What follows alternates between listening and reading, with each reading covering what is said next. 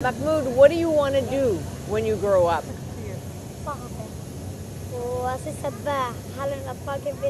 Did you catch what he said there? Sulhafi, he said, journalist. He wants to be a journalist. He wants to be like you and he wants to be a football player also. Oh. yes. Are you good at football? هل Yes. Who's your favorite player؟